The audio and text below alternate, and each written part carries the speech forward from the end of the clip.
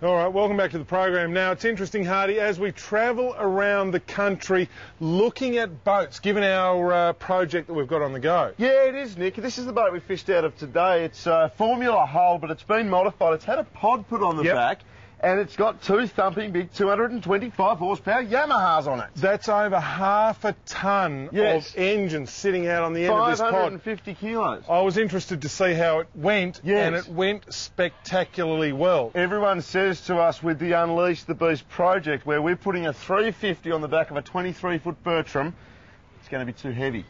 I think it's time to unleash the beast. Yamaha Project 350. Unleash the beast.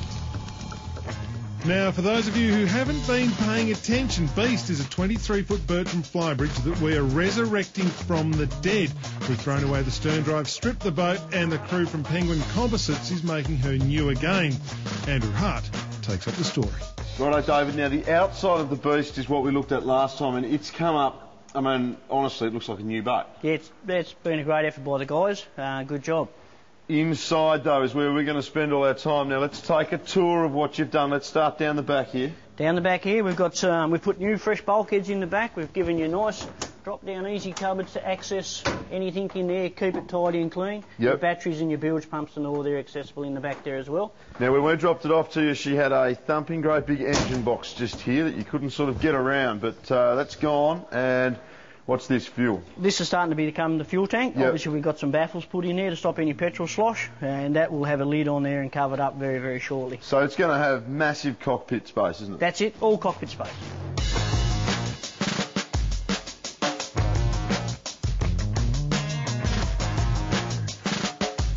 Okay, inside, outside, all looking good. But David, this is the exciting part, mate. This is what it was all about, the project. This is the pod. That's where the project began for us, and that's as far as we've got with it so far. Mate, it looks almost like it was made for the boat. Yeah, look, it's married up quite well with the boat. Yeah. It's going to look a treat. What have you made it out of? Because this thing's got to carry the weight of a Yamaha 350 horsepower, and that's a fair lump of a motor. Right, uh, we've made it out of struck ply. A lot of composite materials have gone into making this unit. Did you just whack it on yourself? Nah, we didn't just whack it on ourselves. We um, seek some professional advice because of what you're hanging off the back of it does uh, require a bit of Yeah. bit of thought. We don't want the motor ripping the back of the boat off, so No. uh, we seeked advice from a naval architect. Now, the Yamaha 350 is the world's biggest outboard. What kind of problems does that give you? Because it's a 23 foot boat, it's not a huge boat, it's possibly overpowered. Yeah, we've got to make it strong, Nick. That's that's the key. We've got to make it strong and, and support the weight. Um, we've also got to make sure that the boat trims right from the first instance. This is the key point. A lot of people are writing to us and asking us questions about how this boat is going to run because Bertram 23s with a stern drive are considered to be a really classic boat.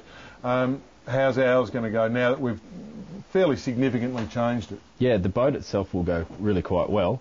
Um, taking the inboard out and the stern drive leg opens up all that space in the back of the boat. Yep. And we've got the marlin boards on there. The whole thing's going to look like a pretty smick bit of kit. So from from an aesthetic point of view, it's going to be really good. But from a performance performance wise, she'll be um, a good good thing. Yep, perform she will. Next time you see the beast, folks, she will be finished here at Penguin Composites and she'll be ready for the big Yamaha 350 to be bolted on the back.